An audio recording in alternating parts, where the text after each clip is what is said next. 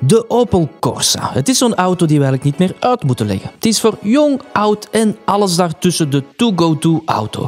Maar desalniettemin waren er doorheen de jaren enkele gekke Corsa's te koop. Een lijst daarvan die stelden we samen op Autoscout24 en die kan je lezen via de link in de descriptie. Maar nu, zes dingen die je moet weten over de zesde generatie Corsa. Grootste verandering die kom je eigenlijk onderhuids tegen, want Opel is tegenwoordig familie van Peugeot en Citroën, waardoor deze Corsa stiekem een Peugeot 208 in vermomming is. Een Franse Duits dus, of een Duitse Frans. Het voordeel daarvan is dat Opel een hypermodern chassis onder deze Corsa kon steken, met meteen een grote impact op het gewicht. Zo is de nieuwe tot wel eens 150 kilogram lichter. Ja, en een lager gewicht, dat is natuurlijk minder verbruik. Voor in de nieuwe Corsa één benzine en één dieselmotor.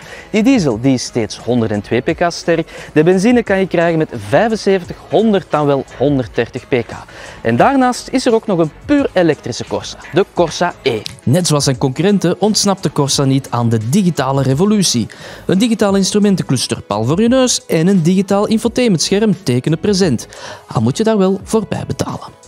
Voor een rits veiligheidssystemen, daar moet je dan weer niet voor bijbetalen. Een noodrem, cruise control, verkeersbordherkenning en een rijstrookassistent. Het zit allemaal standaard op deze Corsa. Dankjewel, Opel. De prijzen die beginnen bij net geen 16.000 euro en voor zo'n 20.000 euro heb je een rijkelijk uitgerust exemplaar. Een elektrische Corsa, die komt er ook en die Corsa E kost net geen 30.000 euro. Zo, dat was kort en krachtig alles wat je moet weten over de nieuwe generatie Corsa. Ga zeker op Autoscout24 het artikel lezen met alle gekke Corsa's doorheen de jaren. En tot de volgende!